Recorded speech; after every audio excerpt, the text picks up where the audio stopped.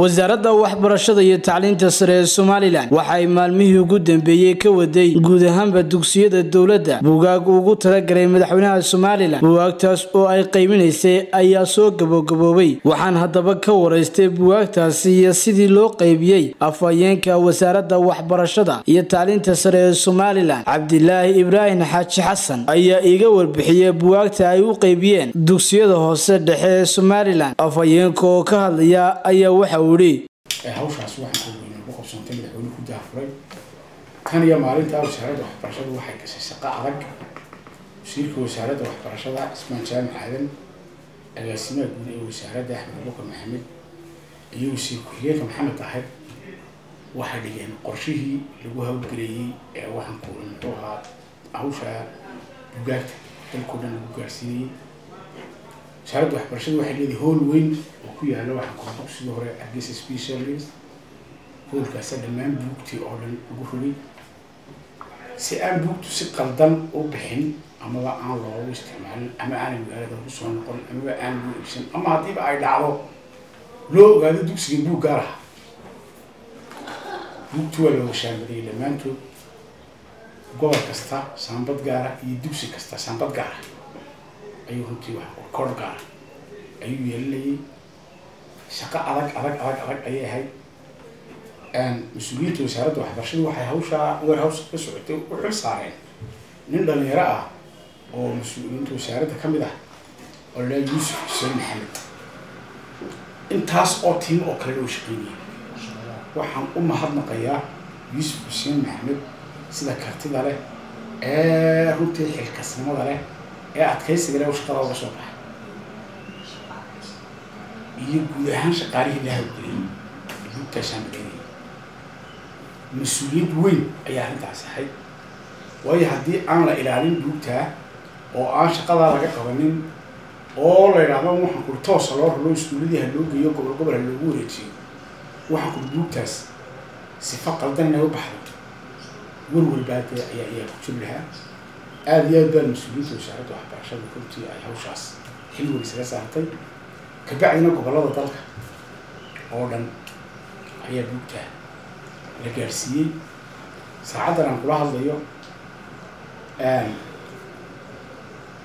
guud ahaan gobollada dalka jamhuuriyadda somalilan buugtaas iyadoo nidaamkaa iyo sifaha wanaagsan waxaan kuaa lagu ilaalinayay buugta martay ayay gaadha meel kasta oo maanta somaliland ka mid ah. Buugtaas weya gobol kasta. Gobolka ugu bareeya ilaa ka ugu galbeedeeya. Buugtaas way gaadhay iyadoo meel walba waxaan kuli si nidaamsan runtii waxaan kutuuha loo gaarsiiyey geesta kale afhayeen cabdilaahi ibraahim xaaji xasan afhayeenka wasaaradda waxbarashada somalilan. Oo hadalkiisa sii wata ayaa waxa uu iga warbixiyey. Buugaag ay gaadhsiiyeen deegaano ka tirsan gobollada bariga somalilan gaar ahaana deegaanada hoos yimaada buuhoodle isagoo u mahadnaqay dadkii sida diirana ugu soo dhaweeyey buuhoodle afhayeenka oo ka hadlaya ayaa waxa uu ihi awood ku lahayn hawshaas dee kamay qabsoonteen waxaan kuli waxaanu ahayn saddex xubnood baanu ahayn waxaana wehelinayay guddoonka waxbarasho laba arrin baan horta u tagnay mid wuxuu ahaa soo qaybinta dee buugta manhajka inaanu gobolka buuhoodle gaadhsiino qodobka labaadna waxay ahayd tabasho iyo cabasho ka timi macallimiinta iyo maamulayaasha dugsiyada buuhoodle cabasho ka timi oo aada i ooga gobolka u dhexaysay cabdibile oo halkan soo gaadhay wasiirka wasaaradda waxbarashadu wuxuu nagu xulay saddex xubnood anigu afhayeenka wasaaradda waxbarashada. Ah xasan cabdillaahi rabno agaasimi waaxda kormeerka guuda iyo maxamed cabdi xayd. Maxamed cabdi xayd oo waxaan kuli mada madaxii hore ee secondary unitka isla markaana imanka ah bahda waaweyn ee macalimiinta qaranka iyo aqooyahanka dalka.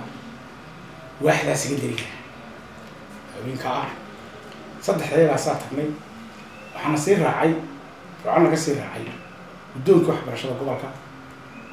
Toos baan waxaan kula muxuu ahaa ufnay buuhoodlaan waxaan runtii tagnay. Anigoo la socda ayaan buuhoodle mar hore waxaan runtii tagay labadii kun iyo sideedii buuhoodle way sii ballaaratay way aad bay u weynaatay aad bay u fiday magaalo runtii waxaan ku muxuuha dhisantay bay iga muuqatay.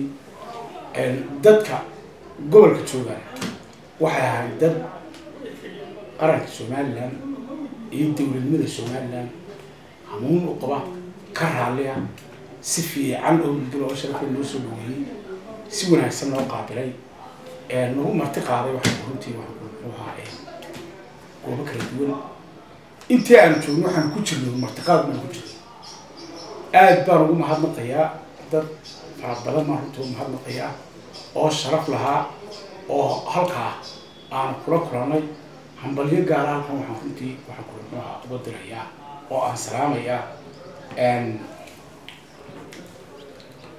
sheekh xuseen maxamed rabiic oo sheekh magaalada oo si fiican noo soo dhaweeyey waxaan aada iyo aada ugu mahadnaqayaa oon halkan ka salaamayaa wilka dooraal oo waxaan ku hooyooyinka gobolka ka mid ah waxaan aada iyo aada iyo aada u bogaadinayaa maamulihii dugsiga hawd mukhtaar ninka la yidhaahdo oo runtii si weyn. Waxaan aada iyo aada iyo aada u salaamayaa saaxiibadii qaaliga ahaa ee maxamuud iyo sharmaarke ismaaciil cabdi oo ka mid ah ragga dugsiga turka buuhoode gacanta ku haya. Rag dhalinyaro wax soo bartay oo dadaalay oo turka wax ku soo bartay oo markii dambana dadaalay oo dugsi halkaa ka yagleelay oo dugsigaa inta badan carruurta agoomaha ay ku jirto oo shaqo weyn runtii haya ayaan aada iyo aada bogaadinayaa waxaan bogaadinayaa macalimiintii gobolka buuhoodle iyo maamulayaashii mudakarka ahaa baan aada iyo aada iyo aada u salaamayaa si gaara waxaan u salaamayaa maayarka buuhoodle ayaan aada u salaamayaa oo na soo gelbiyey runtii markii dambe si fiican noo soo sugootiyey na soo gaarsiiyey waxaan kuli muxuu ahaa ilaa iyo waxaan kuli muxuu ahaa qurluud soo gelbiyey oo waxaan markii horena waxaan la gelbiyey qurluud halkaas. Waxaan umahadnaqayaa macalimiintii ilaa qurluud ugu hortimi ee aanu soo dhacnay ilaa buuhoodle xamse jaamac xuseen xamse awowo star t v. Hargeysa